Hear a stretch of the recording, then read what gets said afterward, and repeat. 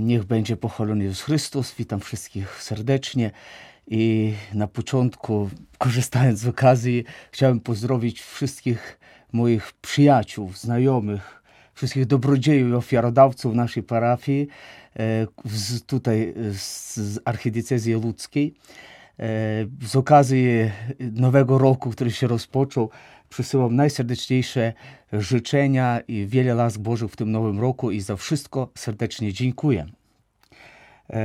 Cieszę się, że mogę tutaj być i też przekazać te pozdrowienia dla każdego, którego, kogo znam i kto mnie dzisiaj słyszy i widzi.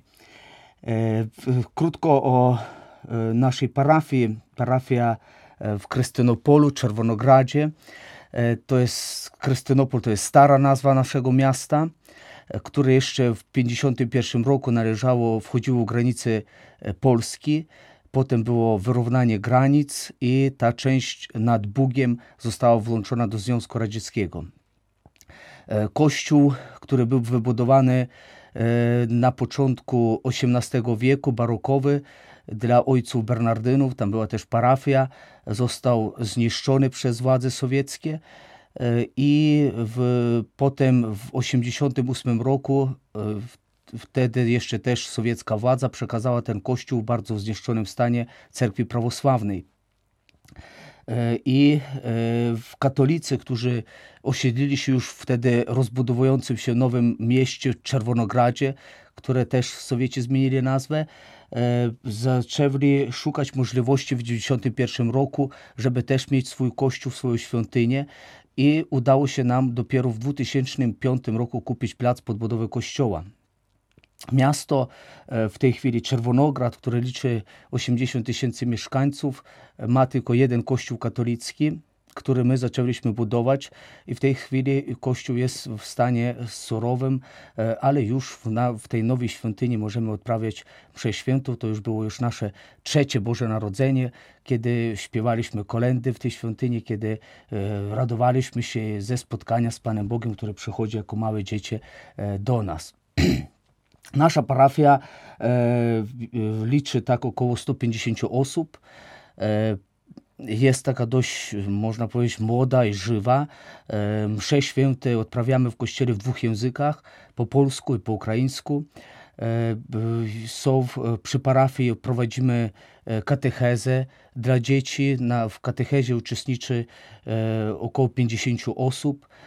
Są różne takie grupy parafialne, jak wspólnotę Różańca, wspólnota Apostolstwa Dobrej Śmierci, wspólnota Apostolstwo Świętej Elżbiety.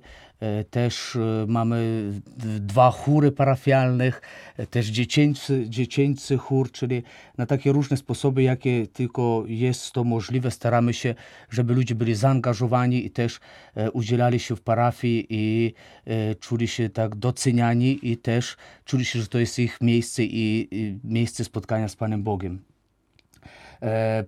Są też ministranci oczywiście i nasza parafia też stara się, żeby ten kościół, który jeszcze budujemy, żeby jego też wykończyć, żeby był już wszystko było jakby wykończona ta budowa naszego kościoła.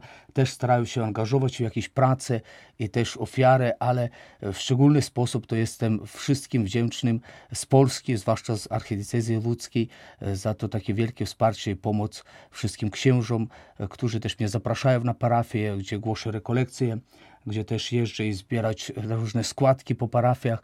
W tej chwili też e, jestem, będę w, jutro w parafii e, w Pabianicach, e, gdzie też będę zbierać składkę na budowę naszego kościoła, na wykończenie naszego kościoła, dlatego też już z góry księdzu proboszczowi Sławkowi serdecznie dziękuję wszystkim parafianom.